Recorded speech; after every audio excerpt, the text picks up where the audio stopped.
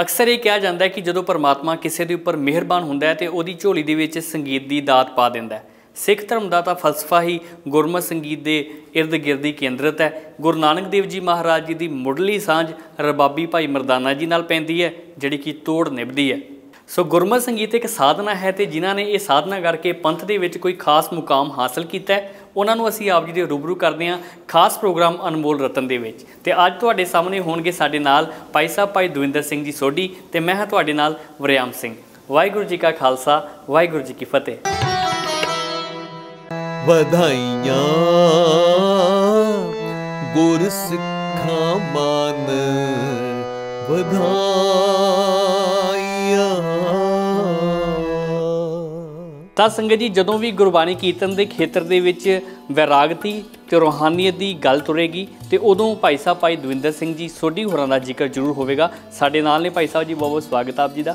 ਵਾਹਿਗੁਰੂ ਜੀ ਕਾ ਖਾਲਸਾ ਵਾਹਿਗੁਰੂ ਜੀ ਕੀ ਫਤਿਹ। ਵਾਹਿਗੁਰੂ ਜੀ ਕਾ ਖਾਲਸਾ ਵਾਹਿਗੁਰੂ ਜੀ ਕੀ ਫਤਿਹ। ਭਾਈ ਸਾਹਿਬ ਜੀ ਪਹਿਲਾ ਸਵਾਲ ਆਪ ਜੀ ਨੂੰ ਮੇਰਾ ਇਹੀ ਹੋਵੇਗਾ ਕਿ ਸੰਗਤ ਨੂੰ ਆਪਣੇ ਜਨਮ ਅਤੇ ਬਚਪਨ ਦੇ ਬਾਰੇ ਜ਼ਰੂਰ ਦੱਸੋ। ਤੁਹਾਡਾ ਧੰਨਵਾਦ। ਮੈਂ ਤੁਹਾਡੇ ਪ੍ਰੋਗਰਾਮ ਵਿੱਚ ਆਇਆ ਮੈਂ ਆਪਣੇ ਆਪ ਨੂੰ ਭਾਗਾਂ ਵਾਲਾ ਸਮਝਦਾ। ਮੇਰਾ ਪਿੰਡ ਬਿਲਗਾ ਜਲੰਧਰ ਜ਼ਿਲ੍ਹੇ ਦੇ ਵਿੱਚ ਗੁਰੂ ਅਰਜਨ ਦੇਵ ਪਾਤਸ਼ਾਹ ਜੀ ਦੇ ਵਚਨਾਂ ਨਾਲ ਵਸਿਆ ਹੋਇਆ ਉਹ ਨਗਰ ਹੈ ਤੇ ਗੁਰੂ ਅਰਜਨ ਦੇਵ ਪਾਤਸ਼ਾਹ ਜੀ ਦੀ ਵਰਾਤ ਉਸ ਪਿੰਡ ਦੇ ਵਿੱਚ ਰੁਕੀ ਸੀ। ਜੀ। ਬਹੁਤ ਸਾਰੀਆਂ ਨਿਸ਼ਾਨੀਆਂ ਨੇ ਮੈਂ ਅਕਸਰ ਸਿੱਖ ਪੰਥ ਨੂੰ ਦਿਖਾਉਂਦਾ ਰਹਿਣਾ ਜਿਹੜੀਆਂ ਸਾਡੇ ਕੋਲ ਨੇ। ਉੱਥੇ ਬਚਪਨ ਵਿੱਚ ਉਹਨਾਂ ਨਿਸ਼ਾਨੀਆਂ ਦੀ ਮੈਂ ਸੇਵਾ ਸੰਭਾਲ ਆਪ ਕਰਦਾ ਰਿਹਾ। ਤੇ ਉਸ ਗੁਰੂ ਘਰ ਦੇ ਜਿੱਥੇ ਮਹਾਰਾਜ ਜੀ ਦੀ ਬਰਾਤ ਰੁਕੀ ਸੀ ਉਹਦੇ ਬਿਲਕੁਲ ਨਜ਼ਦੀਕ ਮੇਰਾ ਘਰ ਸੀ। ਤੇ ਪਿੰਡ ਬਿਲਗੇ ਦੇ ਵਿੱਚ ਇੱਕ ਜ਼ਿਮੀਂਦਾਰਾ ਪਰਿਵਾਰ ਦੇ ਵਿੱਚ ਜਿਹੜਾ ਮੇਰਾ ਜਨਮ ਹੋਇਆ। ਤੇ ਵਿਦਿਆ ਦੀ ਤਾਲੀਮ ਕਿੱਥੋਂ ਤੱਕ ਲਈ ਤੁਸੀਂ? ਜਿਹੜੀ ਮੈਂ ਵਿਦਿਆ 10ਵੀਂ ਕਲਾਸ ਤੱਕ ਮੈਂ ਪੜ੍ਹਿਆ ਕੁਝ ਕਲਾਸਾਂ ਆਪਣੇ ਪਿੰਡ ਵਿੱਚ ਤੇ ਕੁਝ ਬਾਹਰ। ਕੀਰਤਨ ਦੀ ਜਿਹੜੀ ਮੈਨੂੰ ਵਿਦਿਆ ਜਿੱਥੇ ਮੈਂ ਆਪਣੇ ਨਗਰ ਦੇ ਭਾਈ ਰਸ਼ਪਾਲ ਸਿੰਘ ਤੇ ਉਸ ਤੋਂ ਬਾਅਦ ਮੈਂ ਤਬਲੇ ਦੀ ਸਿੱਖਿਆ ਲਈ। ਗਿਆਨੀ ਰਣਜੀਤ ਸਿੰਘ ਜੀ ਗਿਆਨੀ ਦਲੀਪ ਸਿੰਘ ਜੀ ਆਪਣੇ ਸਮੇਂ ਦੇ ਬਹੁਤ ਵੱਡੇ ਉਸਤਾਦ ਹੋਏ ਨੇ। ਉਹਨਾਂ ਕੋਲੋਂ ਤਬਲਾ ਸਿੱਖਿਆ। ਤਬਲਾ ਸਿੱਖ ਕੇ ਮੈਂ ਪੰਥ ਦੇ ਪ੍ਰਸਿੱਧ ਕੀਰਤਨੀ ਭਾਈ ਬਖਸ਼ੀਸ਼ ਸਿੰਘ ਜੀ ਭਾਈ ਇਕਬਾਲ ਸਿੰਘ ਸਾਬਰ ਅੱਜ ਵੀ ਐਲਫੀ ਰਿਕਾਰਡ ਵਿੱਚ ਜੋ ਉਹਨਾਂ ਨੇ ਗਾਇਆ ਮੈਂ ਉਹਨਾਂ ਨਾਲ ਤਬਲੇ ਤੇ ਸੇਵਾ ਕੀਤੀ। ਉਸ ਤੋਂ ਬਾਅਦ ਅ, ਸਤਿਗੁਰਾਂ ਦੀ ਕਿਰਪਾ ਹੋਈ ਮੈਨੂੰ ਮਹਾਪੁਰਸ਼ ਬਾਬਾ ਨੰਦ ਸਿੰਘ ਬਾਬਾ ਈਸ਼ਰ ਸਿੰਘ ਜੀ ਉਹਨਾਂ ਦੇ ਦਰੋਂ ਘਰੋਂ ਬਰਸਾਏ ਹੋਏ ਮਹਾਪੁਰਸ਼ ਬਾਬਾ ਕੁੰਦਨ ਸਿੰਘ ਜੀ। ਉਹਨਾਂ ਨਾਲ ਮੇਰੀ ਸਾਂਝ ਬਣ ਗਈ। ਫਿਰ ਇਹ ਕੀਰਤਨ ਦੀ ਸਿੱਖਿਆ ਜਿਹੜੀ ਮੈਨੂੰ ਨਾਨਕਸਰ ਤੋਂ ਮਿਲੀ ਹੈ। ਕੀ ਬਾਤ ਹੈ। ਭਾਈ ਸਾਹਿਬ ਜੀ, ਅਕਸਰ ਅਸੀਂ ਦੇਖਦੇ ਹਾਂ ਕਿ ਜਿਹੜੇ ਸਾਡੇ ਸਤਿਕਾਰਯੋਗ ਨਾਮੀ ਕੀਰਤਨੀਏ ਨੇ, ਰਾਗੀ ਸਹਿਬਾਨ ਨੇ, ਉਹਨਾਂ ਦਾ ਪਿਛੋਕੜ ਕਿਤੇ ਨਾ ਕਿਤੇ ਗੁਰਬਾਣੀ ਸੰਗੀਤ ਦੇ ਘਰਾਣੇ ਨਾਲ ਜੁੜਦਾ ਹੁੰਦਾ ਹੈ। ਜਾਂ ਉਹਨਾਂ ਦੇ ਘਰ ਦੇ ਵਿੱਚ ਕਿਸੇ ਨਾ ਕਿਸੇ ਨੇ ਗੁਰਬਾਣੀ ਸੰਗੀਤ ਦੀ ਤਾਲੀਮ ਲਈ ਹੁੰਦੀ ਹੈ, ਉਸ ਪਰਿਵਾਰ ਦੇ ਵਿੱਚ ਉਹ ਹੁੰਦੇ ਨੇ। ਤੁਹਾਡੇ ਵੀ ਕੁਝ ਇਸੇ ਤਰ੍ਹਾਂ ਸੀ ਜਾਂ ਨਹੀਂ? ਨਹੀਂ ਸਾਡੇ ਜੋ ਵੱਡ ਵਡੇਰੇ ਜਾਂ ਬਜ਼ੁਰਗ ਮੈਂ ਆਖਾਂ ਉਹ ਤੇ ਸਾਰੇ ਖੇਤੀਬਾੜੀ ਕਰਦੇ ਸੀ। ਜੀ। ਮੇਰਾ ਇਹੋ ਜਿਹਾ ਕੋਈ ਪਿਛੋਕੜ ਨਹੀਂ ਕੋਈ ਸੰਗੀਤ ਨਹੀਂ ਸੀਗਾ। ਤੇ ਇਹ ਮੈਂ ਜ਼ਰੂਰ ਆਖਦਾ ਬਈ ਸੰਗੀਤ ਦੇ ਕੀਰਤਨ ਦੇ ਦਾਤੇ ਗੁਰੂ ਅਰਜਨ ਦੇਵ ਜੀ ਉਹ ਮੇਰੇ ਨਗਰ ਵਿੱਚ ਆਏ ਸਨ। ਸਾਡੇ ਵੱਡ ਵਡੇਰਿਆਂ ਨੇ ਉਹਨਾਂ ਦੀ ਸੇਵਾ ਕੀਤੀ ਸ਼ਾਇਦ ਮੈਨੂੰ ਤਾਂ ਇਹ ਕੀਰਤਨ ਮਿਲਿਆ ਜੀ ਤੇ ਇਹੀ ਖੇਤਰ ਕਿਉਂ ਤੁਸੀਂ ਚੁਣਿਆ? ਮੈਂ ਨਹੀਂ ਚੁਣਿਆ ਮੈਨੂੰ ਮੈਂ ਸਮਝਦਾ ਵੀ ਮਹਾਰਾਜ ਨੇ ਮੈਨੂੰ ਇਧਰ ਲਾੜਾ ਸੀ। ਕਈ ਜਨਮਾਂ ਦੀ ਮੈਂ ਕਹਿਣਾ ਕਿਸੇ ਨੂੰ ਪਤਾ ਨਹੀਂ ਨਾ ਚੰਗੀ ਲੱਗੇ। ਕੰਮ ਤੇ ਕੁਝ ਨਾ ਕੁਝ ਕਿਸੇ ਨੇ ਕਰਨਾ ਹੀ ਹੁੰਦਾ। ਕਈ ਜਨਮਾਂ ਦੀ ਕਮਾਈ ਹੋਵੇ ਉਹਨੂੰ ਕੀਰਤਨ ਕਰਨ ਵਾਸਤੇ ਮਿਲਦਾ। ਮਹਾਰਾਜ ਦੀ ਬਖਸ਼ਿਸ਼ ਸੀ ਨਦਰ ਸੀ। ਤੇ ਮੈਂ ਕੀਰਤਨ ਕਰਨਾ ਸੀ ਮਹਾਰਾਜ ਕਰਵਾ ਰਹੇ ਨੇ ਸੋ ਭਾਈ ਸਾਹਿਬ ਆਪਾਂ ਗੱਲ ਕਰਾਂਗੇ ਜਿਹੜੀ ਸੰਸਥਾ ਤੁਸੀਂ ਤਾਲੀਮ ਲਈ ਹੈ। ਨਾਨਕਸਰ ਦੀ ਤੁਸੀਂ ਗੱਲ ਕੀਤੀ ਹੈ। ਕੁਝ ਯਾਦਾਂ ਤੁਹਾਡੇ ਨਾਲ ਜ਼ਰੂਰ ਉੱਥੋਂ ਦੀ ਜੁੜੀਆਂ ਹੋਣਗੀਆਂ ਉਹ ਸੰਗਤ ਦੇ ਨਾਲ ਸਾਂਝੀਆਂ ਕਰੋ। ਹਾਂ ਮਹਾਪੁਰਸ਼ਾਂ ਦੇ ਦਰੋਂ ਘਰੋਂ ਮੈਨੂੰ ਕੀਰਤਨ ਦੀਆਂ ਦਾਤਾਂ ਪ੍ਰਾਪਤ ਹੋਈਆਂ। ਸੰਗੀਤ ਵੀ ਸਿੱਖਿਆ ਪਰ ਮਹਾਪੁਰਸ਼ਾਂ ਦੇ ਜਿਹੜੇ ਬਚਨ ਉਹ ਪੱਲੇ ਨਾਲ ਬੰਨੇ ਹੋਏ ਨੇ। ਬਾਬਾ ਕੁੰਦਨ ਸਿੰਘ ਜੀ ਦੇ ਕੈਸੇ ਬਚਨ ਜੋ ਕਦੀ ਵੀ ਨਹੀਂ ਭੁਲਾਏ ਉਹਨਾਂ ਇਹ ਸੋਝੀ ਦਿੱਤੀ ਹੈ ਜਦੋਂ ਵੀ ਕੀਰਤਨ ਕਰਨਾ ਹੈ ਤੁਹਾਡੀ ਇਹ ਭਾਵਨਾ ਹੋਵੇ ਕਿ ਗੁਰੂ ਗ੍ਰੰਥ ਸਾਹਿਬ ਮਹਾਰਾਜ ਆਪ ਗੁਰੂ ਨਾਨਕ ਹੋ ਕੇ ਤੁਹਾਡਾ ਕੀਰਤਨ ਸੁਣ ਰਹੇ ਨੇ। ਜਦੋਂ ਬਾਜੇ ਖੋਲ ਕੇ ਕੀਰਤਨ ਲਈ ਬੈਠਣਾ, ਇਹ ਨਹੀਂ ਤੱਕਣਾ, ਸੰਗਤ ਥੋੜੀ ਏ ਕਿ ਸੰਗਤ ਜ਼ਿਆਦੀ ਹੈ। ਇਹ ਭਾਵਨਾ ਹੋਵੇ ਕਿ ਗੁਰੂ ਨਾਨਕ ਸੁਣ ਰਿਹਾ ਹੈ। ਭਾਈ ਸਾਹਿਬ, ਮੈਂ ਹੁਣ ਉਸ ਸਮੇਂ ਦੀ ਗੱਲ ਕਰਨ ਲੱਗਾ ਕਿ ਜਦੋਂ ਨਾ ਤੇ ਇਲੈਕਟ੍ਰੋਨਿਕ ਮੀਡੀਆ ਸੀਗਾ ਤੇ ਨਾ ਹੀ ਸੋਸ਼ਲ ਮੀਡੀਆ ਸੀ। ਸੋਸ਼ਲ ਮੀਡੀਆ ਦੀ ਸ਼ੁਰੂਆਤ ਤੇ ਖੈਰ ਹੁਣ ਜੇ ਹੋਈ। ਉਹ ਸਮੇਂ ਵੀ ਤੁਸੀਂ ਸੰਗਤ ਦੀਆਂ ਨਜ਼ਰਾਂ ਦੇ ਵਿੱਚ ਪ੍ਰਵਾਨ ਸੀ। ਸੰਗਤ ਕੋਈ ਜਾਣਦੀ ਸੀ ਕਿ ਕੋਈ ਲੁਧਿਆਣੇ ਦੇ ਭਾਈ ਦਵਿੰਦਰ ਸਿੰਘ ਜੀ ਸੋਢੀ ਹੈ ਨੇ। ਇਹ ਕਿਵੇਂ ਸੰਭਵ ਹੋਇਆ? ਉਸ ਸਮੇਂ ਵਿੱਚ ਜਦੋਂ ਸੰਚਾਰ ਦੇ ਸਾਧਨ ਹੀ ਨਹੀਂ, ਤੁਸੀਂ ਫਿਰ ਵੀ ਸੰਗਤਾਂ ਦੇ ਹਿਰਦਿਆਂ 'ਚ ਵਸ ਰਹੇ ਸੋ? ਉਹ ਅੱਜ ਵਰਗਾ ਸਮਾਂ ਨਹੀਂ ਸੀ। ਨਾ ਟੈਲੀਵਿਜ਼ਨ ਤੇ ਕੀਰਤਨ ਆਉਂਦਾ ਸੀ, ਨਾ ਰੇਡੀਓ ਤੇ ਕੀਰਤਨ ਆਉਂਦਾ ਸੀ। ਆਡੀਓ ਵੀਡੀਓ ਦਾ ਵੀ ਕੋਈ ਕੀਰਤਨ ਨਹੀਂ ਸੀਗਾ ਆਡੀਓ ਵੀਡੀਓ 'ਚ ਬਹੁਤ ਜ਼ਿਆਦਾ। ਤੇ ਉਸ ਸਮੇਂ ਵੀ ਕੁਝ ਕੀਰਤਨੀਆਂ ਦੀ ਪਹਿਚਾਣ ਬਣੀ ਹੋਈ ਸੀ ਜਿੱਦਾਂ ਮੇਰੇ ਸਮੇਂ ਦੇ ਨੇ ਭਾਈ ਹਰਜਿੰਦਰ ਸਿੰਘ ਹੁਣੀ ਅਸੀਂ ਇਕੱਠੇ ਹੀ ਸਫ਼ਰ ਕੀਤਾ। ਕੀ ਬਾਤ ਹੈ। ਉਹ ਇਦਾਂ ਹੁੰਦਾ ਸੀ ਵੀ ਜਗ੍ਹਾ ਜਗ੍ਹਾ ਜਿੱਥੇ ਵੀ ਦੀਵਾਨ ਲੱਗਣੇ ਵੱਡੇ ਵੱਡੇ ਦੀਵਾਨਾਂ 'ਚ ਜਾ ਕੇ ਕੀਰਤਨ ਕਰਨਾ ਹੌਲੀ ਹੌਲੀ ਜੋ ਸੰਗਤਾਂ ਵਿੱਚ ਪਹਿਚਾਣ ਬਣਦੀ ਸੀ। ਪਰ ਉਹ ਜਿਹੜੀ ਪਹਿਚਾਣ ਹੁੰਦੀ ਸੀ ਨਾ ਉਹ ਇੱਕ ਦੋ ਦਿਨ ਦੀ ਪਹਿਚਾਣ ਨਹੀਂ ਸੀ ਹੁੰਦੀ ਉਹ ਸੰਗਤਾਂ ਦੇ ਦਿਲਾਂ ਵਿੱਚ ਥਾਂ ਬਣਾ ਜਾਂਦੀ ਸੀ। ਕੀ ਬਾਤ ਹੈ। ਮੈਂ ਸਮਝਦਾ ਇੱਕ ਗੁਰੂ ਦੀ ਵੀ ਬੜੀ ਵੱਡੀ ਨਜ਼ਰ ਦੀਆਂ ਉਹ ਗੱਲਾਂ ਨੇ ਕਿਸੇ ਦੇ ਸਾਹਮਣੇ ਇਸ ਤਰ੍ਹਾਂ ਆ ਜਾਣਾ ਵੀ ਕੋਈ ਵੀ ਇਹੋ ਜਿਹਾ ਪ੍ਰਬੰਧ ਨਾ ਹੋਵੇ। ਅੱਛਾ ਮੈਂ ਉਹ ਵੀ ਸਮਾਂ ਦੇਖਿਆ ਜਦੋਂ ਐਲਪੀ ਰਿਕਾਰਡ ਹੁੰਦੇ ਸੀ। ਜੀ। ਮੇਰੇ ਐਲਪੀ ਰਿਕਾਰਡ ਵੀ ਨੇ ਕੈਸਟਾਂ ਵੀ ਨੇ ਫਿਰ ਕੈਸਟਾਂ ਆ ਗਈਆਂ ਫਿਰ ਸੀਡੀਆਂ ਆ ਗਈਆਂ। ਹੁਣ ਤਾਂ YouTube ਤੱਕ ਚਲਾ ਗਿਆ ਕੰਮ। ਐਲਪੀ ਰਿਕਾਰਡ ਤੋਂ ਲੈ ਕੇ ਹੁਣ YouTube ਤੱਕ ਜੀ। ਗੁਰੂ ਨਾਨਕ ਮਹਾਰਾਜ ਮੇਰੇ ਕੋਲ ਨਜ਼ਰ ਕਰਕੇ ਸੇਵਾ ਲੈ ਰਹੇ। ਜੀ ਭਾਈ ਸਾਹਿਬ ਮੈਂ ਸਮਝਦਾ ਕਿ ਜਿਵੇਂ ਤੁਸੀਂ ਗੁਰੂ ਉਪਮਾ ਆਪਣੇ ਸ਼ਬਦਾਂ ਦੇ ਰਾਹੀਂ ਗਾਇਨ ਕੀਤੀ ਹੈ ਸ਼ਾਇਦ ਹੀ ਉਸ ਤਰ੍ਹਾਂ ਕਿਸੇ ਨੇ ਗਾਇਨ ਕੀਤੀ ਹੋਏ। ਧਾਰਮਿਕ ਗੀਤ ਦੀ ਜੇਕਰ ਅਸੀਂ ਗੱਲ ਕਰੀਏ ਤੇ ਤੁਹਾਡਾ ਬੜਾ ਹੀ ਫੇਮਸ ਸੰਗਤ ਨੇ ਜਿਹਨੂੰ ਬਹੁਤ ਪਿਆਰ ਕੀਤਾ ਗੁਰੂ ਉਪਮਾ ਹੈ ਅੰਮ੍ਰਿਤਸਰ ਵੱਲ ਜਾਂਦੇ ਰਾਹੀਓ। ਇਹ ਤੁਸੀਂ ਕਦੋਂ ਗਾਇਨ ਕੀਤਾ? ਕਿਵੇਂ ਇਹਦਾ ਸਬਬ ਬਣਿਆ? ਔਰ ਇਹ ਕਿਹਦੇ ਲਿਖੇ ਹੋਏ ਬੋਲ ਸਨ ਕਿ ਜਿਹੜੇ ਅੱਜ ਵੀ ਬੱਚੇ ਬੱਚੇ ਨੂੰ ਪਤਾ ਹੈ ਪੰਥ ਦੇ ਵਿੱਚ ਫੇਮਸ ਹੈ ਪੂਰੀ ਦੁਨੀਆ ਦੇ ਵਿੱਚ ਜਿੱਥੇ ਵੀ ਸੰਗਤਾਂ ਵਸਦੀਆਂ ਨੇ ਉਹਨਾਂ ਦੀ ਜੀਵਾ ਦੇ ਉੱਪਰ ਇਹ ਸ਼ਬਦ ਹੈ। ਤੁਸੀਂ ਗੱਲ ਕੀਤੀ ਅੰਮ੍ਰਿਤਸਰ ਵੱਲ ਜਾਂਦੇ ਰਾਹੀਓ ਜਾਣਾ ਗੁਰਦੁਆਰੇ ਵਿੱਚ। ਜੀ ਬਿਲਕੁਲ। ਮੈਂ ਸੋਚਦਾ ਮੈਂ ਗੁਰੂ ਰਾਮਦਾਸ ਮਹਾਰਾਜ ਜੀ ਦੀ ਉਪਮਾ ਕੀਤੀ ਵਡਿਆਈ ਕੀਤੀ ਤੇ ਮਹਾਰਾਜ ਜੀ ਨੇ ਮੈਨੂੰ ਵੱਡਿਆ ਕਰ ਦਿੱਤਾ। ਕੀ ਬਾਤ ਹੈ। ਜਿਹੜੇ ਬੋਲ ਸੀ ਉਹ ਮੇਰੀ ਪਹਿਚਾਣ ਬਣ ਗਿਆ। ਅੱਜ ਵੀ ਜਦੋਂ ਮੈਂ ਕਿਤੇ ਸਮਾਗਮਾਂ ਤੇ ਜਾਣਾ ਨਾ ਜੇ ਮੈਂ ਨਾ ਗਾਵਾਂ ਤੇ ਲੋਕ ਹੀ ਕਹਿ ਦਿੰਦੇ ਉਹ ਜ਼ਰੂਰ ਗਾ। ਜਦੋਂ ਮੈਂ ਕਿਤੇ ਵਿਦੇਸ਼ ਵਿੱਚ ਜਾ ਕੇ ਗਾਣਾ ਨਾ ਤੇ ਲੋਕ ਸੁਣਦੇ ਸੁਣੇ ਕਈ ਵਾਰੀ ਅੱਖਾਂ ਭਰ ਲੈਂਦੇ ਨੇ। ਇਹ ਉਹਦੇ ਉਹਨਾਂ ਬੋਲਾਂ ਵਿੱਚ ਐਸੀ ਬਖਸ਼ਿਸ਼ ਐਸੀ ਸ਼ਕਤੀ ਤੁਸੀਂ ਦੇਖੋ ਜਦੋਂ ਮੈਂ ਗਾਇਆ ਹਰ ਇੱਕ ਧਰਮ ਦੇ ਬੰਦੇ ਨੇ ਉਸ ਟੂਨ ਤੇ ਗਾ ਦਿੱਤਾ। ਜਿੱਧਰ ਜਿੱਧਰ ਨੂੰ ਕੋਈ ਰਾਹ ਜਾਂਦਾ ਸੀ ਮੈਂ ਕਈ ਵਾਰੀ ਹੱਸਦਾ ਹੁੰਦਾ ਜਿੱਧਰ ਨੂੰ ਕੱਚੇ ਰਾਹ ਜਾਂਦੇ ਸੀ, ਲੋਕਾਂ ਨੇ ਉਧਰਲੇ ਵੀ ਗੀਤ ਬਣਾ ਦਿੱਤੇ। ਹਨਾ, ਆਪਣੇ ਆਪਣੇ ਡੇਰਿਆਂ ਦੇ, ਆਪਣੇ ਆਪਣੇ ਧਰਮਾਂ ਦੇ। ਐਸੇ ਉਹਨਾਂ ਬੋਲਾਂ ਵਿੱਚ ਬਖਸ਼ਿਸ਼ ਸੀ। ਉਹ ਇੱਕ ਗੁਰੂ ਰਾਮਦਾਸ ਜੀ ਦੀ ਉਪਮਾ ਸੀ। ਮਹਾਰਾਜ ਜੀ ਨੇ ਮੇਰੀ ਉਪਮਾ ਵਧਾ ਦਿੱਤੀ। ਉਸ ਵੇਲੇ ਮੇਰੀ 20 ਸਾਲ ਦੀ ਉਮਰ ਸੀ। 20 ਸਾਲ ਦੀ ਉਮਰ ਵਿੱਚ ਜਦੋਂ ਮੈਂ ਗਾਇਆ, ਪੰਥ ਵਿੱਚ ਹਰੇਕ ਬੰਦਾ ਮੈਨੂੰ ਜਾਣਦਾ ਸੀ। ਤੇ ਇਹਨਾਂ ਨੇ ਇਹ ਗਾਇਆ। ਜਲੰਧਰ ਵਿੱਚ ਉਹਨੂੰ ਰਿਕਾਰਡ ਕੀਤਾ ਸੀ ਲੱਖੇ ਸਲੇਮਪੁਰੇ ਨੇ ਉਹਨੂੰ ਲਿਖਿਆ ਸੀ। ਫਿਰ ਮੈਂ ਇਹ ਵੀ ਸੋਚਦਾ ਰਿਹਾ ਵੀ ਕਿਤੇ ਇਹ ਮਾਰਕੀਟ ਵਿੱਚ ਨਾ ਆ ਜਾਵੇ ਕੈਸਟ। ਅੱਛਾ ਵੀ ਜੀ ਕੋਈ ਸੁਣ ਨਾ ਲਵੇ ਵੀ ਮੈਂ ਗਾ ਤਾਂ ਦਿੱਤਾ। ਜਦੋਂ ਮਾਰਕੀਟ ਵਿੱਚ ਆਈ 7 ਲੱਖ ਕੈਸਟ ਥੋੜੇ ਦਿਨਾਂ ਵਿੱਚ ਵਿਕੀ। ਕੀ ਬਾਤ ਹੈ। ਐਡੇ ਵੱਡੇ ਗਿਣਤੀ ਵਿੱਚ ਲੋਕਾਂ ਨੇ ਉਹਨੂੰ ਪਸੰਦ ਕੀਤਾ। ਹੋਰ ਉਸ ਸਮੇਂ ਦੇ ਜਿਹੜੇ ਵੱਡੇ ਵੱਡੇ ਗਾਇਕ ਸੀ ਉਹਨਾਂ ਨਾਲ ਮੇਰੀ ਪਹਿਚਾਣ ਬਣ ਗਈ ਮੈਂ ਗਾਇਆ। ਜੀ ਭਾਈ ਸਾਹਿਬ ਗੱਲਬਾਤ ਅਸੀਂ ਇਸੇ ਤਰ੍ਹਾਂ ਨਿਰੰਤਰ ਜਾਰੀ ਰੱਖਾਂਗੇ। ਔਰ ਮੈਂ ਚਾਹਾਂਗਾ ਤੁਸੀਂ ਇਹ ਗੁਰੂ ਉਪਮਾ ਸੰਗਤ ਨਾਲ ਜ਼ਰੂਰ ਸਾਂਝੀ ਕਰੋ। ਲੋ ਮੈਂ ਤੁਹਾਨੂੰ ਸੁਣਾਣਾ ਅੰਮ੍ਰਿਤਸਰ ਵੱਲ ਜਾਂਦੇ ਰਾਹੀਓ ਜਾਣਾ ਗੁਰੂ ਦੁਆਰੇ ਵੇ।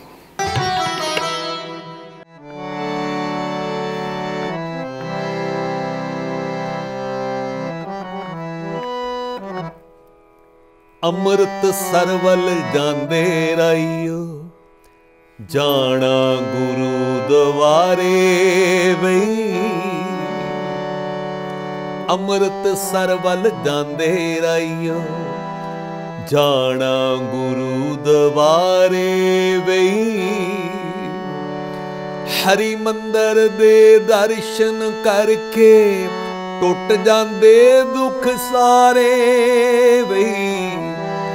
ਅੰਮ੍ਰਿਤ ਸਰਵਲ ਜਾਂਦੇ ਰਾਈਓ। ਭਾਈ ਸਾਹਿਬ ਤੁਹਾਡਾ ਕੀਰਤਨ ਕਰਨ ਦਾ ਅੰਦਾਜ਼ ਵੱਖਰਾ ਹੈ। ਤੁਹਾਡੀ ਸ਼ੈਲੀ ਵੱਖਰੀ ਹੈ। ਜਿੱਥੇ ਤੁਸੀਂ ਸ਼ਬਦ ਕੀਰਤਨ ਗਾਇਨ ਕਰਦੇ ਹੋ ਉੱਥੇ ਤੁਹਾਡੇ ਗਾਇਨ ਦੇ ਵਿੱਚ ਕੋਈ ਨਾ ਕੋਈ ਇੱਕ ਅਜਿਹਾ ਵਿਸ਼ਾ ਹੁੰਦਾ ਹੈ ਜਿਹੜਾ ਸਿੱਧੇ ਤੌਰ ਤੇ ਸੰਗਤ ਦੇ ਹਿਰਦਿਆਂ ਨੂੰ ਵਿੰਨ ਕੇ ਰੱਖ ਦਿੰਦਾ ਹੈ। ਵੈਰਾਗ ਸ਼ਮਸ਼ਮ ਕਈ ਵਾਰੀ ਸੰਗਤ ਦੀਆਂ ਨੇਤਰਾਂ ਦੇ ਵਿੱਚੋਂ ਆ ਜਾਂਦਾ ਹੈ। ਇਹ ਸ਼ੈਲੀ ਕਿਵੇਂ ਇਹਦੀ ਸ਼ੁਰੂਆਤ ਹੋਈ? ਜਿਵੇਂ ਹਰੇਕ ਫੁੱਲ ਦੀ ਆਪਣੀ ਆਪਣੀ ਮਾਇਕ ਹੁੰਦੀ ਹੈ। ਰਸੋਈ ਵਿੱਚ ਰਾਸ਼ਨ ਉਹੀ ਹੁੰਦਾ ਅਹ ਸੁਆਣੀ ਦਾ ਬਣਾਉਣ ਦਾ ਆਪਣਾ ਤਰੀਕਾ ਹੁੰਦਾ। ਕੀ ਬਾਤ ਹੈ। ਕੀਰਤਨ ਜਿਹੜਾ ਨਾ ਸਿੱਖ ਦੇ ਰੂਹ ਦੀ ਖੁਰਾਕ ਹੈ। ਮਹਾਰਾਜ ਕਹਿੰਦੇ ਨਾ ਅਖੰਡ ਕੀਰਤਨ ਤਿੰਨ ਭੋਜਨ ਚੂਰਾ। ਬਿਲਕੁਲ। ਕੀਰਤਨ ਸਾਡੀ ਖੁਰਾਕ ਹੈ। ਹਰੇਕ ਕੀਰਤਨੀਏ ਦਾ ਆਪਣਾ ਆਪਣਾ ਜਿਹੜਾ ਉਹ ਢੰਗ ਹੁੰਦਾ। ਤੇ ਮੇਰੀ ਇੱਛਾ ਹੁੰਦੀ ਫਿਰ ਮੈਂ ਕਿਸੇ ਨਾ ਕਿਸੇ ਵਿਸ਼ੇ ਤੇ ਕੀਰਤਨ ਕਰਦਾ। ਔਰ ਮੈਂ ਇਸ ਕੰਮ ਵਿੱਚ ਕਾਮਯਾਬ ਵੀ ਰਿਹਾ। ਬਹੁਤ ਸਾਰੇ ਪ੍ਰਕਰਨ ਲੋਕਾਂ ਨੇ ਪਸੰਦ ਕੀਤੇ। ਭਾਈ ਸਾਹਿਬ ਮੈਂ ਜਿੰਨੇ ਵੀ ਤੁਹਾਡੀ ਰਿਕਾਰਡਿੰਗਸ ਵੇਖੀਆਂ ਨੇ ਜਿੰਨੀਆਂ ਵੀ ਕੈਸਟਾਂ ਹੁਣ ਤੱਕ ਸੰਗਤ ਦੀ ਝੋਲੀ ਤੁਸੀਂ ਪਾਈਆਂ ਵਾਕਈ ਉਹਨਾਂ ਦਾ ਇੱਕ ਕੋਈ ਨਾ ਕੋਈ ਵਿਸ਼ਾ ਹੁੰਦਾ ਹੈ। ਤੇ ਉਹ ਜਦੋਂ ਤੁਸੀਂ ਕੋਈ ਵਿਸ਼ਾ ਚੁਣਦੇ ਹੋ ਉਹਦੇ ਵਾਸਤੇ ਮਿਹਨਤ ਵੀ ਬਹੁਤ ਕਰਨੀ ਪੈਂਦੀ ਹੋਵੇਗੀ। ਕਿ ਤੁਹਾਡਾ ਕੋਈ ਸਲਾਹਕਾਰ ਹੈ ਜਿਹੜਾ ਤੁਹਾਨੂੰ ਸਲਾਹ ਦਿੰਦਾ ਜਾਂ ਤੁਸੀਂ ਖੁਦ ਹੀ ਮਿਹਨਤ ਕਰਦੇ ਹੋ? ਸਲਾਹਕਾਰ ਤੇ ਗੁਰੂ ਨਾਨਕ ਹੀ ਨੇ ਉਹ ਸਮਤ ਬਖਸ਼ਦੇ ਨੇ। ਤੇ ਫਿਰ ਵੀ ਦਿਨ ਰਾਤ ਸੋਚਦੇ ਰਹੀਦਾ ਮੇਰੀ ਇੱਛਾ ਹੁੰਦੀ ਹੈ ਵੀ ਇੱਕ ਤਾਂ ਕੁਝ ਅਲੱਗ ਕਰਾਂ ਮੈਂ ਸਟੇਜ ਤੇ ਜਾ ਕੇ ਕਿਉਂਕਿ ਪਹਿਲਾਂ ਵੀ ਪੰਜਾਂ ਸੱਤਾਂ ਰਾਗੀਆਂ ਨੇ ਕੀਰਤਨ ਕੀਤਾ ਹੈ। ਕਿਤੇ ਮੈਂ ਉਹੀ ਜਾ ਕੇ ਨਾ ਵਿੱਚ ਕਰਨ ਲੱਗ ਫਿਰ ਸਾਡੇ ਕੋ ਸਾਡੇ ਗੁਰਮਤਿ ਕੀਰਤਨ ਖਜ਼ਾਨੇ ਦੇ ਵਿੱਚ ਬਹੁਤ ਸਾਰਾ ਐਸਾ ਕੁਝ ਹੈਗਾ ਜਿਹੜਾ ਮਨੁੱਖੀ ਕਦਰਾਂ ਤੇ ਕੀਮਤਾਂ ਦੀ ਗੱਲ ਕਰਦਾ। ਐਥਿਕਸ ਦੀ ਗੱਲ ਹੁੰਦੀ ਹੈ। ਜਿਹੜਾ ਇਹ ਸਮਝਾਉਂਦੇ ਜਿਹੜੇ ਸ਼ਬਦ ਇਹ ਕਹਿੰਦੇ ਨੇ ਵੀ ਜੇ ਚੰਗਾ ਇਨਸਾਨ ਨਹੀਂ ਬਣ ਸਕਿਆ ਜਿਹਦੀ ਜੱਗ ਨਾਲ ਨਾ ਨਿਭੀ ਉਹਦੀ ਰੱਬ ਨਾਲ ਕਿਵੇਂ ਨਿਭੇਗੀ ਫਿਰ ਮੈਂ ਖੋਜ ਕਰਦਾ ਵੀ ਉਹ ਸ਼ਬਦ ਉਹ ਪ੍ਰਕਰਨ ਕੱਢ ਲਵਾਂ ਜਿਹਦੇ ਨਾਲ ਚੰਗੇ ਇਨਸਾਨ ਬਣਨ। ਐਸੀ ਮੇਰੀ ਇੱਛਾ ਹੁੰਦੀ ਹੈ। ਜੀ ਭਾਈ ਸਾਹਿਬ ਤੁਹਾਡਾ ਇੱਕ ਅਜਿਹਾ ਪ੍ਰਕਰਨ ਹੈ ਕਿ ਜਿਵੇਂ ਦੁਨੀਆ ਦੇ ਵਿੱਚ ਮਾਂ-ਬਾਪ ਨੇ ਉਹ ਵਾਕਈ ਅਕਾਲ ਪੁਰਖ ਦੀ ਇੱਕ ਨਿਆਮਤ ਹੁੰਦੀ ਹੈ। ਉਹਨਾਂ ਦੇ ਜਾਣ ਤੋਂ ਬਾਅਦ ਕਈ ਵਾਰੀ ਸਾਨੂੰ ਸੋਝੀ ਆਉਂਦੀ ਹੈ ਕਿ ਉਹਨਾਂ ਦੀ ਸਾਡੇ ਜੀਵਨ ਦੇ ਵਿੱਚ ਕੀ ਅਹਿਮੀਅਤ ਸੀ। ਪਰ ਕਈ ਵਾਰੀ ਇਦਾਂ ਹੁੰਦਾ ਕਿ ਜਿਉਂਦੇ ਜੀ ਹੀ ਮਾਪਿਓ ਦੀ ਬੱਚਾ ਸੇਵਾ ਨਹੀਂ ਕਰਦਾ। ਤੁਹਾਡਾ ਇੱਕ ਪ੍ਰਕਰਨ ਹੈ ਮਾਂ ਦੇ ਬਾਰੇ। ਪ੍ਰਕਰਨ ਕਿਵੇਂ ਖਿਆਲ ਦੇ ਵਿੱਚ ਆਇਆ ਤੇ ਹੁਣ ਤੱਕ ਕਿੰਨੀਆਂ ਸੰਗਤਾਂ ਨੇ ਉਹਨੂੰ ਸੁਣਿਆ? ਉਹਦੀ ਪ੍ਰਸਿੱਧੀ ਕਿਵੇਂ ਪੂਰੀ ਖਿਆਤੀ ਵਿਸ਼ਵ ਦੇ ਵਿੱਚ ਹੋਈ ਹੈ, ਉਹ ਸੰਗਤ ਨਾਲ ਜਰੂਰ ਸਾਂਝ ਪਾਓ। ਮੈਂ ਕਹਿੰਦਾ ਜਿੰਨਾ ਮੈਂ ਕੀਰਤਨ ਕੀਤਾ, ਸਭ ਤੋਂ ਵੱਧ ਮੇਰਾ ਕੀਰਤਨ ਉਹ ਸੁਣਿਆ। ਉਹ ਭਾਈ ਗੁਰਦਾਸ ਜੀ ਦੀਆਂ ਵਾਰਾਂ ਨੇ। ਉਹਦੇ ਵਿੱਚ ਪਿਓ ਤੇ ਮਾਂ ਦੀ ਸਾਨੂੰ ਸੰਭਾਲ ਕਰਨੀ ਚਾਹੀਦੀ, ਆਪਣੇ ਬਜ਼ੁਰਗਾਂ ਦੀ ਇੱਜ਼ਤ ਮਾਣ ਕਰਨੀ ਚਾਹੀਦੀ। ਉਹਦੇ ਵਿੱਚ ਕੁਝ ਦੁਨਿਆਵੀ ਗੱਲਾਂ, ਕੁਝ ਦੁਨਿਆਵੀ ਬਾਤਾਂ ਵੀ ਮੈਂ ਸੁਣਾਈਆਂ, ਇਤਿਹਾਸ ਵਿੱਚੋਂ ਵੀ ਗੱਲਾਂ ਲੈ ਕੇ ਸੁਣਾਈਆਂ, ਵੀ ਸਾਡੇ ਗੁਰੂ ਸਾਹਿਬਾਨ ਆਪਣੇ ਬਜ਼ੁਰਗਾਂ ਨੂੰ ਕਿਵੇਂ ਸਾਂਭਦੇ ਸੀ। ਜਦੋਂ ਮੈਂ ਕਿਤੇ ਕੀਰਤਨ ਕਰਦਾ, ਇਹ 4-5 ਘੰਟੇ ਦਾ ਪ੍ਰਕਰਣ ਆ, ਤਿੰਨ ਚੌਂ ਦਿਨਾਂ ਵਿੱਚ ਫਿਰ ਮੈਂ ਸੁਣਾਉਂਦਾ।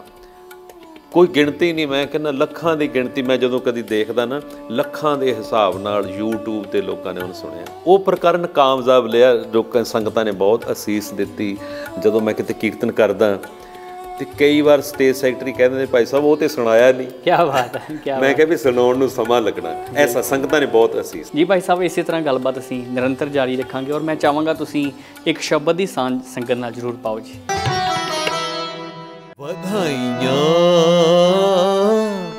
ਗੁਰ ਸਿੱਖਾਂ ਮਨ ਵਧਾਈਆਂ। ਵਧਾਈਆਂ ਗੁਰ ਸਿੱਖਾਂ ਮਾਨ ਵਧਾਈਆਂ।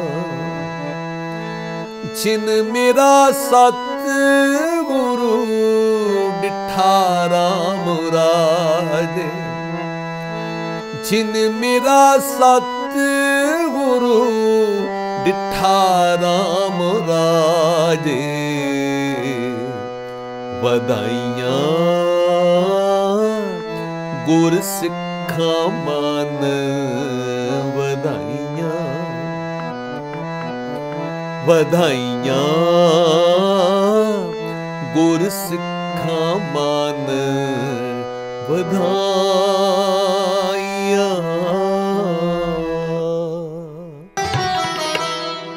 ਭਾਈ ਸਾਹਿਬ ਕੀ ਬਾਤ ਹੈ। ਬਹੁਤ ਆਨੰਦ ਆਇਆ। ਭਾਈ ਸਾਹਿਬ ਅਕਸਰ ਅਸੀਂ ਵੇਖਦੇ ਹਾਂ ਕਿ ਜਿਹੜੀ ਕੌਮ ਆਪਣੀ ਪਨੀਰੀ ਨੂੰ ਸਾਂਭਦੀ ਹੈ ਬਹੁਤ ਜਲਦੀ ਉਹ ਵਿਸ਼ਵ ਦੇ ਵਿੱਚ ਸ਼ਾਈਨ ਕਰਦੀ ਹੈ। ਦੁਨੀਆ ਦੇ ਵਿੱਚ ਉਹਦੀ ਕੌਮ ਦੇ ਫਲਸਫੇ ਦੀਆਂ ਉਹਨਾਂ ਦੇ ਵਡੱਪਨ ਦੀਆਂ ਉਹਦੇ ਇਤਿਹਾਸ ਦੀਆਂ ਗੱਲਾਂ ਹੁੰਦੀਆਂ ਨੇ। ਮੈਂ ਸਮਝਦਾ ਕਿ ਜਦੋਂ ਗੁਰਮਤ ਮੁਕਾਬਲਿਆਂ ਦੀ ਗੱਲ ਆਉਂਦੀ ਹੈ। ਗੁਰਬਾਣੀ ਸੰਗੀਤ ਮੁਕਾਬਲਿਆਂ ਦੀ ਗੱਲ ਆਉਂਦੀ ਹੈ ਤੇ ਉਹ ਸ਼ੁਰੂਆਤ ਭਾਈ ਦਵਿੰਦਰ ਸਿੰਘ ਸੋਢੀ ਹੋਰਾਂ ਵੱਲੋਂ ਹੁੰਦੀ ਹੈ। ਉਹ ਕਿਵੇਂ ਖਿਆਲ ਆਇਆ ਔਰ ਉਹ ਕਿਵੇਂ ਸੰਭਵ ਹੋਇਆ ਉਹਨੂੰ ਪ੍ਰੈਕਟੀਕਲ ਰੂਪ ਤੁਸੀਂ ਕਿਵੇਂ ਦਿੱਤਾ? ਮੈਂ ਸਮਝਦਾ ਇਹ ਗੁਰੂ ਨਾਨਕ ਪਾਤਸ਼ਾਹ ਜੀ ਨੇ ਕੀਰਤਨ ਦੇ ਦਾਤੇ ਨੇ ਵਡਿਆਈ ਮੈਨੂੰ ਬਖਸ਼ਣੀ ਸੀ ਮਹਾਰਾਜ ਨੇ ਮੇਰੇ ਕੋਲੋਂ ਇਹ ਸੇਵਾ ਲਈ। ਮੈਂ ਕੀ ਦੇਖਦਾ ਸੀਗਾ ਬਈ ਜਿੱਦਾਂ ਆਪਾਂ ਕਿਉਂਕਿ ਹੁਣ ਯੁੱਗ ਬਦਲ ਗਿਆ ਸੀ ਟੈਲੀਵਿਜ਼ਨ ਦਾ ਯੁੱਗ ਆ ਗਿਆ ਸੀ। ਤੇ ਹੁਣ ਉਹ ਜਿਹੜੇ ਗੁਰਮਤਿ ਸੰਗੀਤ ਜਿਨ੍ਹਾਂ ਬੱਚਿਆਂ ਨੇ ਸਿੱਖਿਆ ਹੋਇਆ ਸੀ ਉਹਨਾਂ ਨੂੰ ਇੰਨਾ ਮਾਣ ਵਡਿਆਈ ਨਹੀਂ ਸੀ ਮਿਲਦੀ।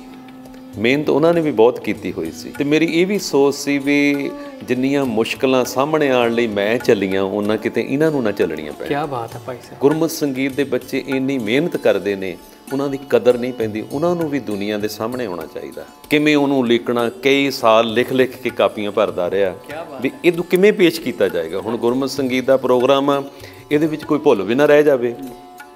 ਤੇ ਜਿਹੜਾ ਸਾਡੇ ਕੋਲ ਖਜ਼ਾਨਾ ਉਹਨੂੰ ਪੇਸ਼ ਵੀ ਕੀਤਾ ਜਾਵੇ। ਇਹ ਨਹੀਂ ਵੀ ਮੇਰੇ ਇਕੱਲੇ ਦਾ ਮੈਂ ਬਹੁਤ ਸਾਰੇ ਜਿਹੜੇ ਗੁਰਮਤਿ ਦੇ ਜਾਣਕਾਰ ਸੀ ਉਹਨਾਂ ਕੋਲੋਂ ਸਲਾਹ ਲੈਂਦਾ ਰਿਹਾ। ਜਿਵੇਂ ਪ੍ਰੋਫੈਸਰ ਕਰਤਾਰ ਸਿੰਘ ਹੋ ਗਏ ਜਿਹੜੇ ਗੁਰਮਤਿ ਸੰਗੀਤ ਦੇ ਜਾਣਦੇ ਸੀ।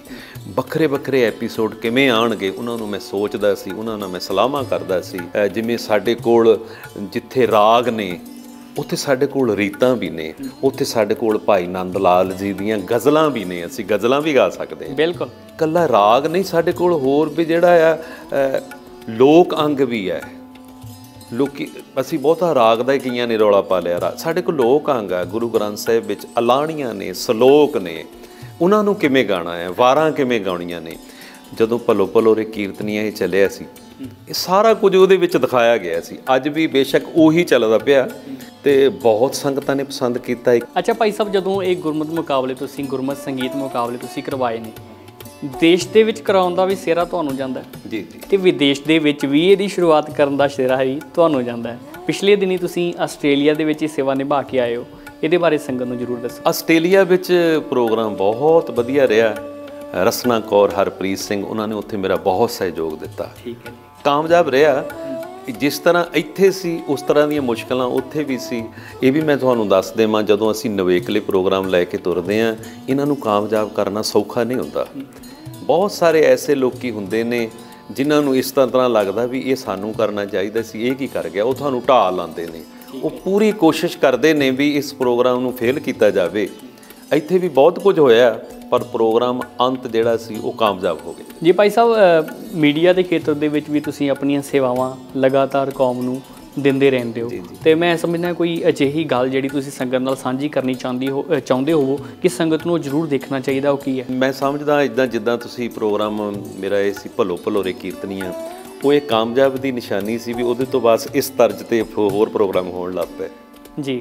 ਹਨਾ? ਜਿਹੜੀ ਚੀਜ਼ ਪਸੰਦ ਆ ਜੇ ਲੋਕਾਂ ਨੂੰ ਉਸ ਤਰਜ ਤੇ ਗਾਉਂਦੇ। ਜਿੱਦਾਂ ਅੰਮ੍ਰਿਤਸਰ ਵੱਲ ਗਾਏ ਉਹ ਤਰਜ ਤੇ ਸਾਰਿਆਂ ਨੇ ਗਾਇਆ। ਫਿਰ ਭਲੋ ਭਲੋਰੇ ਕੀਰਤਨੀਆਂ ਵੀ ਸਭ ਨੇ ਕਰਾਇਆ ਆਪਣਾ ਆਪਣਾ ਜ਼ੋਰ ਲਾਇਆ। ਮੈਂ ਉਹ ਜਿਹੜੇ ਬੰਦੇ ਜਿਨ੍ਹਾਂ ਨੇ ਗੁਰਮਤ ਦੇ ਪ੍ਰਚਾਰ ਤੇ ਪ੍ਰਸਾਰ ਲਈ ਕੁਝ ਕੀਤਾ ਉਹਨਾਂ ਨੂੰ ਇਸ ਤਰ੍ਹਾਂ ਸੰਗਤਾਂ ਦੇ ਅੱਗੇ ਪੇਸ਼ ਕੀਤਾ। ਜੀ ਭਾਈ ਸਾਹਿਬ ਪੁਰਖਿਆਂ ਦੀਆਂ ਕੁਝ ਨਾ ਕੁਝ ਅਜਿਹੀਆਂ ਸਾਡੇ ਕੋਲ ਨਿਸ਼ਾਨੀਆਂ ਹੁੰਦੀਆਂ ਕਿ ਜਦੋਂ ਬੰਦਾ ਉਹਨਾਂ ਨੂੰ ਦੇਖਦਾ ਤੇ ਆਪਣੇ ਪੁਰਖਿਆਂ ਦੇ ਕੀਤੇ ਹੋਏ ਕਾਰਨਾਮਿਆਂ ਦੀ ਯਾਦ ਆਉਂਦੀ ਹੈ। ਜੀ ਜੀ। ਉਹਨਾਂ ਨੇ ਦੁਨੀਆ ਵਾਸਤੇ ਕੀ ਕੀਤਾ ਉਹਨਾਂ ਨੇ ਕੌਮ ਵਾਸਤੇ ਕੀ ਕੀਤਾ ਉਹਨਾਂ ਦੀ ਦੇਣ ਮਨੁੱਖਤਾ ਨੂੰ ਕੀ ਰਹੀ ਹੈ ਉਹ ਨਿਸ਼ਾਨੀਆਂ ਦਾ ਬਹੁਤ ਵੱਡਾ ਯੋਗਦਾਨ ਹੁੰਦਾ ਹੈ। ਤੇ ਤੁਸੀਂ ਉਹ ਨਿਸ਼ਾਨੀਆਂ ਜਗ੍ਹਾ ਜਗ੍ਹਾ ਦੇ ਉੱਪਰ ਜਾ ਕੇ ਉਹਦੇ ਬਾਰੇ ਖੋਜਬੀਨ ਕਰਕੇ ਸੰਗਤ ਦੇ ਸਾਹਮਣੇ ਲਿਆ ਰਹੇ ਹੋ, ਉਹਦੇ ਬਾਰੇ ਜ਼ਰੂਰ ਦੱਸੋ। ਗੁਰੂ ਮਹਾਰਾਜ ਜੀ ਦੀ ਨਜ਼ਰ ਹੈ ਜੀ, ਕੀਰਤਨ ਤੋਂ ਇਲਾਵਾ ਮੇਰੀ ਇੱਛਾ ਹੁੰਦੀ ਆ ਵੀ ਮੈਨੂੰ ਕੱਲ ਨੂੰ ਕੋਈ ਇਹ ਨਾ ਪੁੱਛੇ ਵੀ ਤੂੰ ਕੌਮ ਲਈ ਕੀ ਕੀਤਾ। ਵੀ ਕੀਰਤਨ ਤਾਂ ਤੇਰੀ ਰੋਜੀ ਰੋਟੀ ਸੀ ਵੀ ਤੂੰ ਕੌਮ ਲਈ ਕੀ ਕੀਤਾ। ਤੇ ਮਹਾਂਪੁਰਸ਼ਾਂ ਨੇ ਜਿੱਥੋਂ ਅਸੀਂ ਸਿੱਖੇ ਆ, ਸਾਨੂੰ ਉੱਥੋਂ ਵੀ ਸੂਝੀ ਮਿਲੀ ਹੈ ਵੀ ਹੋ ਸਕਦਾ ਕੀਰਤਨ ਤੁਹਾਡੀ ਰੋਜੀ ਰੋਟੀ ਹੋਵੇ, ਤੇ ਸੰਗਤਾਂ ਦੀ ਸੇਵਾ ਲਈ ਤੁਸੀਂ ਕੀ ਕਰਦੇ ਪਏ ਹੋ। ਤੇ ਅੱਜ ਤੁਸੀਂ ਦੇਖੋ, ਟੈਲੀਵਿਜ਼ਨ ਦੀ ਦੁਨੀਆ ਵਿੱਚ ਇਸ ਪ੍ਰੋਗਰਾਮ ਨੂੰ ਬਹੁਤ ਪਸੰਦ ਕੀਤਾ ਗਿਆ। ਕਰੋੜਾਂ ਦੀ ਗਿਣਤੀ ਵਿੱਚ YouTube ਤੇ ਲੋਕਾਂ ਨੇ ਵੇਖਿਆ, ਮੈਂ 2.5 300 ਨਿਸ਼ਾਨੀ ਮਹਾਰਾਜ ਜੀ ਖੋਜ ਕਰਕੇ ਸੰਗਤਾਂ ਦੇ ਇਸ ਤਰ੍ਹਾਂ ਸਾਹਮਣੇ ਕਰ ਦਿੱਤੀ। ਭਾਈ ਸਾਹਿਬ ਜੀ, ਜਦੋਂ ਇੱਕ ਰਾਗੀ ਜਾਂ ਇੱਕ ਸਤਿਕਾਰਯੋਗ ਕੀਰਤਨੀਆ ਆਪਣੇ ਖੇਤਰ ਦੇ ਵਿੱਚ ਹੁੰਦਾ ਕੀਰਤਨ ਦੇ ਲਈ ਤੁਹਾਨੂੰ ਰਿਆਜ਼ ਕਰਨੀ ਪੈਂਦੀ ਹੈ। ਜਿਹੜੀ ਕਿ ਇੱਕ ਰਾਗੀ ਵਾਸਤੇ ਜਾਂ ਕੀਰਤਨੀਆ ਵਾਸਤੇ ਬਹੁਤ ਜ਼ਰੂਰੀ ਹੈ। ਤੁਸੀਂ ਜਿੱਥੇ ਕੀਰਤਨ ਕਰਦੇ ਹੋ, ਉੱਥੇ ਇਤਿਹਾਸ ਦੀ ਸਾਂਝ ਵੀ ਸੰਗਤ ਦੇ ਨਾਲ ਪਾਉਂਦੇ ਹੋ। ਪੜਨ ਵਾਸਤੇ ਕਿੱਦਾਂ ਸਮਾਂ ਕੱਢਦੇ ਹੋ ਜਾਂ ਕਿੰਨਾ ਸਮਾਂ ਪੜ੍ਹਾਈ ਕਰਦੇ ਹੋ? ਕਿਹੜੀਆਂ ਖੋਜਾਂ ਕਰਦੇ ਹੋ? ਵੈਸੇ ਸਾਰਾ ਹੀ ਸਮਾਂ ਇਧਰ ਲਾਇਆ ਹੋਇਆ। ਖੋਜ ਬਹੁਤ ਜ਼ਰੂਰੀ ਹੈ ਕਿਉਂਕਿ ਤੁਹਾਡਾ ਇੱਕ ਇੱਕ ਬੋਲ ਜਿਹੜੇ ਆ ਉਹ ਲੋਕੀ ਨੋਟ ਕਰਦੇ ਪਏ ਆ। ਇੱਕ ਸ਼ਬਦ ਵੀ ਤੁਸੀਂ ਗਲਤ ਨਹੀਂ ਬੋਲ ਸਕਦੇ। ਬਿਲਕੁਲ। ਬੇਸ਼ੱਕ ਅਸੀਂ ਘੰਟਾ ਬੋਲਦੇ ਹਾਂ ਸਟੇਜ ਤੇ। ਹਰੇਕ ਗੱਲ ਦਾ ਜਿਹੜਾ ਸਵਾਲ ਦਾ ਜਵਾਬ ਉਹ ਪਹਿਲਾਂ ਅਸੀਂ ਆਪਣੇ ਅੰਦਰ ਰੱਖ ਕੇ ਤੁਰਦੇ ਹੈ। ਜੇ ਮੈਂ ਸਟੇਜ ਤੋਂ ਉਤਰਾਂਗਾ ਮੈਨੂੰ ਕੋਈ ਪੁੱਛੇਗਾ ਵੀ ਇਹ ਕਿੱਥੇ ਲਿਖਿਆ ਹੋਇਆ ਹੈ? ਫਿਰ ਉਹਨੂੰ ਮੈਂ ਦੱਸ ਸਕਾਂਗਾ ਵੀ ਇਹ ਫਲਾਨੀ ਕਿਤਾਬ ਤੇ ਫਲਾਨੀ ਜਗ੍ਹਾ ਲਿਖਿਆ ਹੋਇਆ ਹੈ। ਤੇ ਮੈਂ ਆਪਣੇ ਕੀਰਤਨ ਵਿੱਚ ਬਹੁਤ ਸਾਰੀਆਂ ਐਸੀਆਂ ਗੱਲਾਂ ਵੀ ਸੁਣਾਉਣਾ ਜਿਹੜੀਆਂ ਕਿਸੇ ਕਿਤਾਬ ਤੇ ਨਹੀਂ ਲਿਖੀਆਂ ਹੋਈਆਂ। ਉਹ ਇੱਕ ਵੱਖਰੀ ਗੱਲ ਹੁੰਦੀ, ਉਹਨੂੰ ਅਸੀਂ ਕਹਿੰਦੇ ਸੀਨਾ ਵਸੀਨਾ। ਮੈਂ ਸੁਣੀਆਂ, ਮੇਰੇ ਬੱਚਿਆਂ ਨੇ ਸੁਣਾਈਆਂ, ਮੈਂ ਬਹੁਤ ਸਾਰੇ ਐਸੇ ਪਰਿਵਾਰਾਂ ਨੂੰ ਜਾਣਦਾ ਜਿਹੜੇ ਗੁਰੂ ਸਾਹਿਬ ਨੂੰ ਮਿਲੇ ਸੀ। ਜੋ ਵੀ ਸਿੱਖ ਦੇ ਵਿਦਵਾਨ ਲੋਕ ਨੇ, ਉਹਨਾਂ ਨੂੰ ਪੜ੍ਹਦੇ ਰਹੀਦਾ। ਤੇ ਇਤਿਹਾਸ ਵਿੱਚੋਂ ਖੋਜ ਕਰਕੇ ਫਿਰ ਗੁਰੂ ਮਹਾਰਾਜ ਜੀ ਦੀ ਅਸੀਸ ਸਦਕਾ ਸੰਗਤ ਦੇ ਅੱਗੇ ਪੇਸ਼ ਕਰੀਦਾ। ਭਾਈ ਸਾਹਿਬ ਕੀਰਤਨ ਦੇ ਨਾਲ ਨਾਲ ਹੋਰ ਕਿਹੜੀਆਂ ਅਜਿਹੀਆਂ ਪੰਥਕ ਸੇਵਾਵਾਂ ਨੇ ਜਿਨ੍ਹਾਂ ਵਿੱਚ ਤੁਸੀਂ ਆਪਣਾ ਯੋਗਦਾਨ ਪਾ ਰਹੇ ਹੋ? ਬਹੁਤ ਵੱਡਾ ਸਮਾਗਮ ਹਰੇਕ ਸਾਲ ਮੈਂ ਕਰਦਾ। ਸਾਲਾਨਾ ਹਾਂ ਜਿਹਦਾ ਮੈਂ ਨਾਮ ਗੁਰਬਾਣੀ ਦੀ ਤੁਕ ਲੈ ਕੇ ਰੱਖਿਆ ਹੋਇਆ ਹੈ। ਮਹਾ ਪਵਿੱਤਰ ਸਾਧਕਾ ਸੰਗ ਗੁਰੂ ਗ੍ਰੰਥ ਸਾਹਿਬ ਜੀ ਦੇ ਬੋਲ ਨੇ ਉਹਦਾ ਨਾਮ ਹੈ ਮਹਾ ਪਵਿੱਤਰ ਗੁਰਮਤਿ ਸਮਾਗਮ। ਜੀ। 29 ਸਾਲ ਹੋ ਗਏ ਉਸ ਸਮਾਗਮ ਨੂੰ। ਇਸ ਵਾਰ 29ਵਾਂ ਸਮਾਗਮ ਸੀ। ਔਰ ਉਸ ਸਮਾਗਮ ਦੇ ਵਿੱਚ ਬਹੁਤ ਵੱਡੀ ਗਿਣਤੀ ਵਿੱਚ ਸੰਗਤਾਂ ਆਉਂਦੀਆਂ ਨੇ। ਇੱਕ ਸਮਾਗਮ ਹੁੰਦਾ ਗੁਰੂ ਅਰਜਨ ਦੇਵ ਪਾਤਸ਼ਾਹ ਜੀ ਦਾ ਵਿਆਹ ਪੁਰਬ। ਪਿੰਡ ਬਿਲਗੇ ਦੇ ਵਿੱਚ ਜਿੱਥੇ ਮੇਰਾ ਪਿੰਡ ਹੈ। ਉਸ ਦਿਨ ਜਿੱਦੇ ਹੁਣ ਵੀ ਆਏਗਾ 3 ਜੁਲਾਈ ਨੂੰ ਹੁੰਦਾ। ਉਸ ਦਿਨ ਗੁਰੂ ਮਹਾਰਾਜ ਜੀ ਦੀ ਕਿਰਪਾ ਨਾਲ ਵਿਆਹ ਪੁਰਬ ਮਨਾਉਣ ਦਾ ਅਸੀਂ ਇਹ ਤਰੀਕਾ ਰੱਖਿਆ ਹੋਇਆ। ਮੈਂ ਆਪਣੇ ਪਿੰਡ ਦੀਆਂ ਤਿੰਨ ਲੋੜਵੰਦ ਜਿਹੜੀਆਂ ਪਰਿਵਾਰਾਂ ਦੀਆਂ ਬੱਚੀਆਂ ਨੇ ਉਹਨਾਂ ਦੇ ਉਸ ਦਿਨ ਵਿਆਹ ਕਰੀਦੇ ਕੀ ਬਾਤ ਹੈ। ਪੰਜ ਬੱਚੀਆਂ ਦੇ। ਤੇ ਉਸੇ ਦਿਨ ਜਿੱਦਣ ਮਹਾਰਾਜ ਜੀ ਉੱਥੇ ਬਰਾਤ ਲੈ ਕੇ ਆਏ ਸੀ ਤੇ ਜਿਹੜੀਆਂ ਮੇਰੇ ਪਿੰਡ ਵਿੱਚ ਵਿਧਵਾ ਔਰਤਾਂ ਨੇ ਤੇ ਮਹੀਨੇ ਦਾ ਰਾਸ਼ਨ ਸੰਗਰਾਂਦ ਦੀ ਰਾਤ ਨੂੰ, ਉਹਨਾਂ ਦਾ, ਉਹਨਾਂ ਨੂੰ ਦੇਈਦਾ ਉਹਨਾਂ ਦੇ ਬੱਚਿਆਂ ਦੀ ਪੜ੍ਹਾਈ ਦਾ ਪ੍ਰਬੰਧ ਤੇ ਹੋਰ ਉਹਨਾਂ ਦੇ ਜੋ ਵੀ ਲੋੜੀਂਦਾ ਸਮਾਨ ਹੈ ਮਹੀਨਾਵਾਰੀ ਉਹਨਾਂ ਨੂੰ ਸਮਾਨ ਦੇਈਦਾ ਬਹੁਤ ਸਾਰੇ ਬੱਚਿਆਂ ਦੀ ਪੜ੍ਹਾਈ। ਇਸ ਤਰ੍ਹਾਂ ਦੇ ਬਹੁਤ ਸਾਰੇ ਕਾਰਜ ਨੇ ਜਿਹੜੇ ਗੁਰੂ ਮਹਾਰਾਜ ਤਰੁੱਟ ਕੇ ਸੇਵਾਵਾਂ ਲੈ ਰਹੇ। ਭਾਈ ਸਾਹਿਬ, ਆਪ ਜੀ ਵੱਲੋਂ ਜਿਹੜੇ ਉਲੀਕੇ ਗਏ ਸਮਾਗਮ ਸਨ, ਜਿਨ੍ਹਾਂ ਦੇ ਵਿੱਚ ਬੱਚਿਆਂ ਨੂੰ ਗੁਰਮਤਿ ਸੰਗੀਤ ਦੀ ਸਿੱਖਿਆ ਦਿੱਤੀ ਜਾਂਦੀ ਸੀ ਜਾਂ ਉਹਨਾਂ ਦੇ ਵਿੱਚ ਉਹ ਹਿੱਸਾ ਲੈਂਦੇ ਸਨ। ਉਹਨਾਂ ਦਾ ਸਾਨੂੰ ਰਿਜ਼ਲਟ ਅੱਜ ਇਹ ਵੇਖਣ ਨੂੰ ਮਿਲਦਾ ਕਿ ਬਹੁਤ ਸਾਰੇ ਵਿਦਿਆਰਥੀ ਇਸ ਖੇਤਰ ਵੱਲ ਆ ਰਹੇ ਨੇ। ਆਪਣੀਆਂ ਸੇਵਾਵਾਂ ਉਹ ਪੰਥ ਨੂੰ ਦੇਣਾ ਚਾਹੁੰਦੇ ਨੇ ਤੇ ਜਿਹੜੇ ਵਿਦਿਆਰਥੀ ਇਸ ਖੇਤਰ ਵੱਲ ਆ ਰਹੇ ਨੇ, ਗੁਰਮਤਿ ਸੰਗੀਤ ਦੇ ਖੇਤਰ ਵਿੱਚ ਆ ਰਹੇ ਨੇ, ਉਹਨਾਂ ਨੂੰ ਤੁਸੀਂ ਕੀ ਕਹਿਣਾ ਚਾਹੋਗੇ? ਮੇਰੇ ਨਾਲ ਤਾਂ ਸਾਰੇ ਸਿਆਣੇ ਨੇ, ਪਰ ਫਿਰ ਵੀ ਮੈਂ ਬਹੁਤ ਸਾਲ ਕੀਰਤਨ ਦੀ ਦੁਨੀਆ ਵਿੱਚ ਲਾਏ। ਉਸ ਤਜਰਬੇ ਵਿੱਚੋਂ ਮੈਂ ਜਿਹੜਾ ਕੁਝ ਸ- ਉਹਨਾਂ ਨੂੰ, ਆਪਣੇ ਵੀਰਾਂ ਨੂੰ, ਬੱਚਿਆਂ ਨੂੰ ਮੇਰੇ ਨਾਲੋਂ ਸਾਰੇ ਸਤਿਕਾਰਯੋਗ ਉਹਨਾਂ ਨੂੰ ਦੱਸ ਸਕਦਾ। ਵੀ ਇੱਕ ਤੇ ਜਦੋਂ ਕੀਰਤਨ ਕਰਨਾ, ਇਹ ਭਾਵਨਾ ਬਣਾ ਕੇ ਗੁਰੂ ਗ੍ਰੰਥ ਸਾਹਿਬ ਆਪ ਗੁਰੂ ਨਾਨਕ ਹੋ ਕੇ ਕੀਰਤਨ ਸੁਣ ਰਹੇ ਨੇ। ਕੀਰਤਨ ਇੱਕ ਬੰਦਗੀ ਹੈ, ਕੀਰਤਨ ਕੋਈ ਕਲਾਕਾਰੀ ਨਹੀਂ। ਜੇ ਸਾਡੀ ਭਾਵਨਾ ਚੰਗੀ ਹੈ, ਕਿੰਨੀਆਂ ਵੀ ਅੜਚਨਾਂ ਨੇ, ਬਹੁਤ ਐਸੀਆਂ ਅੜਚਨਾਂ ਆਂਦੀਆਂ ਨੇ, ਜਿਹੜੀਆਂ ਤੁਹਾਨੂੰ ਇਸ ਕਿੱਤੇ 'ਚੋਂ ਬਾਹਰ ਧੱਕੇ ਮਾਰਦੀਆਂ ਨੇ। ਸਾਡੀ ਭਾਵਨਾ ਐਸੀ ਹੋਵੇ, ਜਦੋਂ ਭਾਵਨਾ ਐਸੀ ਹੋਏਗੀ ਫਿਰ ਤੇ ਕੀਰਤਨ ਨੂੰ ਆਪੇ ਹੀ ਰੰਗ ਲੱਗੇਗਾ। ਸੋ ਸਾਧ ਜੀ, ਅਸੀਂ ਜਾਣਿਆ ਭਾਈ ਸਾਹਿਬ, ਭਾਈ ਦਵਿੰਦਰ ਸਿੰਘ ਜੀ, ਸੋਢੀ ਹੋਰਾਂ ਦੇ ਜੀਵਨ ਦੀਆਂ ਉਹਨਾਂ ਬਾਤਾਂ ਨੂੰ, ਜਿਨ੍ਹਾਂ ਤੋਂ ਤੁਸੀਂ ਹਜੇ ਵਾਕਿਫ ਨਹੀਂ ਸੋ। ਸਾਡੀ ਇਹ ਹਮੇਸ਼ਾ ਹੀ ਕੋਸ਼ਿਸ਼ ਰਹਿੰਦੀ ਹੈ ਕਿ ਜਿਨ੍ਹਾਂ ਦੀ ਪੰਥ ਨੂੰ ਕੋਈ ਦੇਣ ਹੈ, ਪੰਥ ਪ੍ਰਤੀ ਕੋਈ ਸੇਵਾਵਾਂ ਨੇ, ਉਹਨਾਂ ਦੇ ਜੀਵਨ ਨੂੰ ਆਪ ਜੀ ਦੇ ਸਮਕਸ਼ ਲੈ ਕੇ ਜ਼ਰੂਰ ਆਈਏ। ਕਿਉਂਕਿ ਅਸੀਂ ਉਹਨਾਂ ਨੂੰ ਸਟੇਜ ਦੇ ਉੱਪਰ ਕੀਰਤਨ ਕਰਦਿਆਂ ਦੇਖਦੇ ਹਾਂ। ਉਹਨਾਂ ਦੇ ਫੇਮ ਨੂੰ ਦੇਖਦੇ ਹਾਂ, ਪਰ ਉਹਨਾਂ ਦੇ ਜੀਵਨ ਦੇ ਪਿੱਛੇ ਜਿਹੜੀ ਮਿਹਨਤ ਹੁੰਦੀ ਹੈ, ਜਿਹੜੀ ਬੰਦਗੀ ਹੁੰਦੀ ਹੈ, ਜਿਹੜੀ ਸਾਧਨਾ ਹੁੰਦੀ ਹੈ, ਉਹ ਕਿਤੇ ਨਾ ਕਿਤੇ ਸਾਡੀਆਂ ਨਜ਼ਰਾਂ ਤੋਂ ਦੂਰ ਰਹਿ ਜਾਂਦੀ ਹੈ। ਤੇ ਸਾਡੀ ਕੋਸ਼ਿਸ਼ ਹੁੰਦੀ ਹੈ, ਅਸੀਂ ਉਹ ਮਿਹਨਤ ਤੇ ਸਾਧਨਾ ਆਪ ਜੀ ਦੇ ਸਮਕਸ਼ ਕਰੀਏ, ਆਪ ਜੀ ਦੇ ਸਾਹਮਣੇ ਰੱਖੀਏ, ਤਾਂ ਜੋ ਜੀਵਨ ਦੇ ਵਿੱਚ ਸਾਨੂੰ ਕੋਈ ਅਜਿਹੀ ਸੇਧ ਮਿਲ ਸਕੇ। ਤੇ ਉਮੀਦ ਕਰਦੇ ਹਾਂ, ਭਾਈ ਸਾਹਿਬ, ਭਾਈ ਦਵਿੰਦਰ ਸਿੰਘ ਜੀ, ਸੋਢੀ ਹੋਰਾਂ ਦੇ ਜੀਵਨ ਵਿੱਚੋਂ ਵੀ ਤੁਸੀਂ ਬਹੁਤ ਕੁਝ ਸਿੱਖਿਆ ਹੋਵੇਗਾ। ਤੇ ਸਾਡੇ ਅਗਲੇ ਪ੍ਰੋਗਰਾਮ ਦੇ ਵਿੱਚ ਅਜਿਹੀ ਹੀ ਕਿਸੇ ਖਾਸ ਸ਼ਖਸੀਅਤ ਨੂੰ ਲੈ ਕੇ ਆਪ ਜੀ ਦੇ ਰੂਬਰੂ ਹੋਵਾਂਗੇ। ਉਦੋਂ ਤੱਕ ਦੇ ਲਈ ਸਾਨੂੰ ਇਜਾਜ਼ਤ ਦਿਓ ਜੀ। ਵਾਹਿਗੁਰੂ ਜੀ ਕਾ ਖਾਲਸਾ ਵਾਹਿਗੁਰੂ ਜੀ ਕੀ ਫਤਿਹ।